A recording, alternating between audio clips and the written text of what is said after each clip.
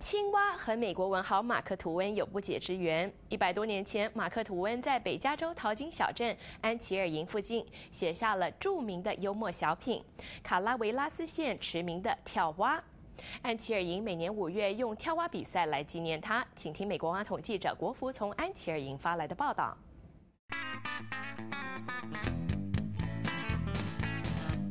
南加州的好莱坞有条举世闻名的星光大道，北加州的小镇安琪尔营也有一条。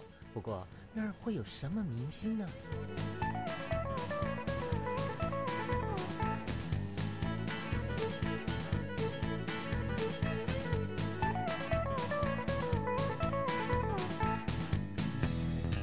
安琪尔营位于加州首府萨克拉门托东南两小时车程的山脚。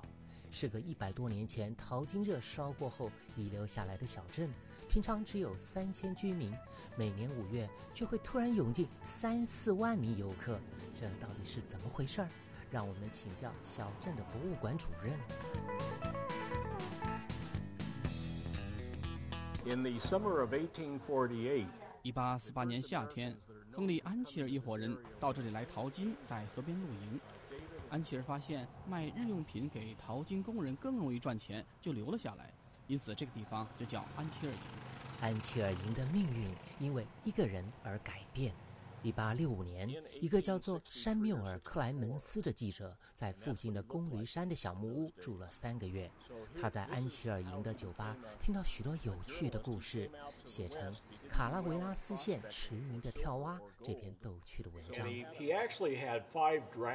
图温的跳蛙故事有五个不同版本的草稿，第三个版本没有赶上出书时间，才先在报纸上发表。不料让他一夕成名。他就是笔名叫马克·吐温的。美国文豪山缪尔·克莱门斯。图温在安琪尔营的岁月非常重要，他写成了跳蛙故事，成为知名人物。他所做的笔记陆续在后来的作品出现，一直到1909年。所以说，安琪尔营是图温人生的转折点。马克·图温和他笔下那只青蛙也成为安琪尔营永久的标志。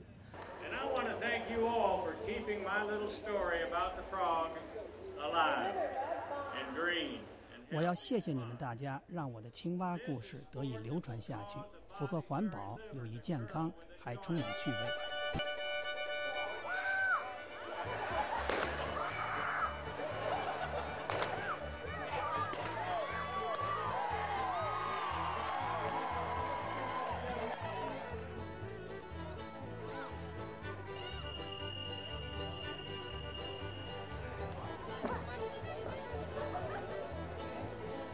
这只不解风情的青蛙，难道还在等待公主的香吻？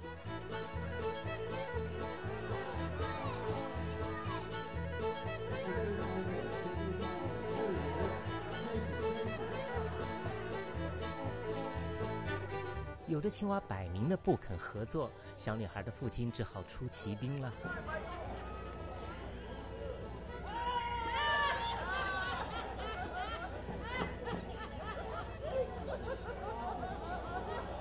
这只青蛙可能创下距离最短的记录。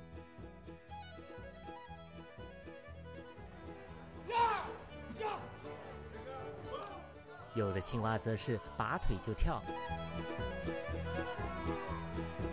跳蛙比赛测量的是青蛙三级跳的距离。比赛的策略很多，放青蛙的时候头要先着地，只能在第一跳的时候碰它，以后呢只能吼叫。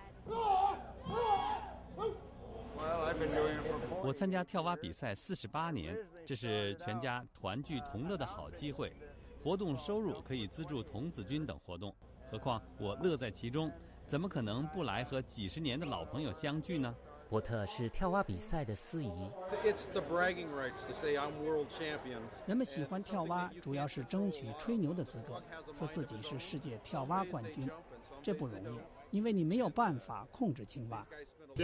我七十二岁，他七十一岁，朱迪奇是我们当中的老头子。三个老朋友每年一起去抓野青蛙，他们也没有料到会缔造世界纪录。我们在士德顿市的巴里路抓到柔西，柔西后来赢得1986年的冠军。所创下的世界纪录二十一尺五又四分之三寸，到现在还没有被打破。朱迪奇是柔西的主人。那天夜里，我们只抓到了一只青蛙，就是柔西，世界纪录的缔造者就是这么来的。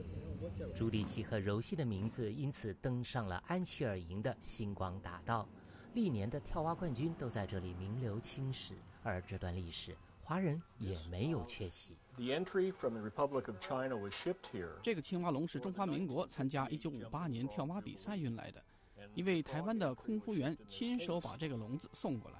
可惜的是，没有任何相关史料遗留下来。十七岁的少年迈克尔·莱特，他的青蛙叫四连胜，跳出十九尺一寸的成绩。获胜有什么秘诀呢？一点秘诀也没有，我就是上场把青蛙放下去，希望它好好跳，如此而已。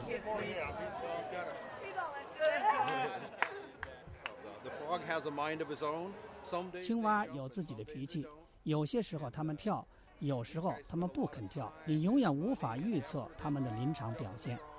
一只在资格赛跳出将近二十尺的青蛙，在决赛的时候却不肯跳了，这是常有的事儿。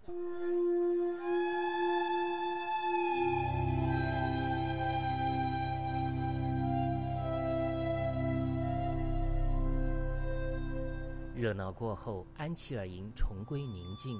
The Mark Twain is the new gold. 马克吐温是新的金矿，今天的马克吐温可能比他活着的时候更为人们所喜爱敬重。We're thrilled to be associated with 能和这么一个世界名人拉上关系，我们都很兴奋。他让我们的城市为人所知。以上是美国万花筒记者国福从安琪尔营发来的报道。